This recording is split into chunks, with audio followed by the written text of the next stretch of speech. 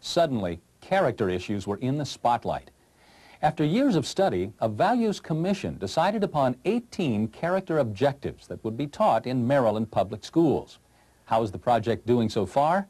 Here's a progress report. Does anybody remember what this word is? Who remembers what that word is, Brian? Character. Character, very good. Sharon Grant's second grade class is beginning today's character education lesson. Very good. A person needs to be honest. Very good. With funding from the United Way, Baltimore City Public Schools bought these teaching guides from the Character Education Institute in San Antonio, Texas. For 20 minutes, five days a week, Baltimore students learn about character and citizenship.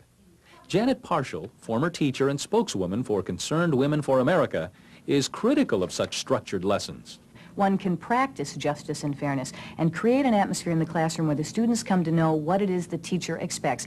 Well, Miss Jones doesn't like it when we cheat on our tests. Miss Jones says we're supposed to treat each other fairly, and she creates an atmosphere rather than sitting in a magic circle for 20 minutes and, and lecturing, if you will, about a value. The program here is beginning its second year, and so far it's been well received.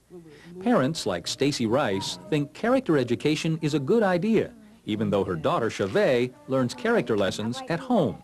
Because a lot of the kids don't have a proper upbringing at home, and they need to learn it somewhere, so I guess it's better to learn it in school.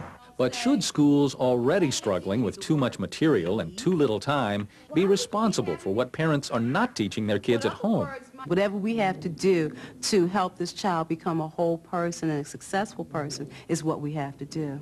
I enjoy teaching character education. However, I find it difficult a lot of times to fit it into the curriculum or into the day because we're required to teach so many different areas. Maryland schools were some of the first in the country to take on character education.